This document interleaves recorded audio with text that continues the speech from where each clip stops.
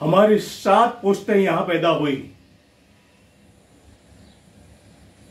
इस मिट्टी में हमारे बाप दादा का भी खून शामिल है। हिंदुस्तान हमारा भी घर है। और हम अपना घर छोड़कर कहीं नहीं जाएँगे।